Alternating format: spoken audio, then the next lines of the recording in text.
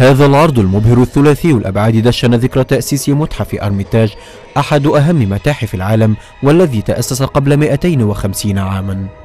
وصور العرض حقبا مختلفة من التاريخ الروسي وجرى تقديمه على جدران مبنى القيادة العامة نصف الدائري المقابل للمتحف في ميدان بقلب مدينة سانت بطرسبرغ. اجتذب العرض آلاف المشاهدين ويقول منظمه إن الهدف منه هو تتبع أوجه التشابه بين التاريخ الروسي والأعمال الفنية التي يتضمنها المتحف العريق. إيكاترينا جالانوفا منتجة عرض الأضواء.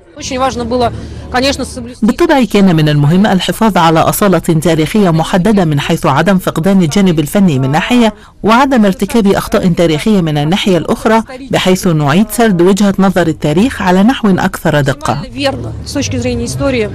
وقدم العرض مشاهد متداخلة لأحداث شهدتها روسيا مثل الحريق الضخم والحرب العالمية الثانية مع صور لمعروضات المتحف وصاحبها عزف لمقطوعات موسيقية كلاسيكية ومعاصرة.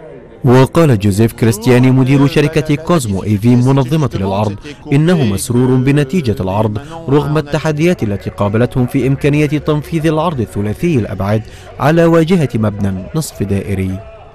محمد الجبالي رويترز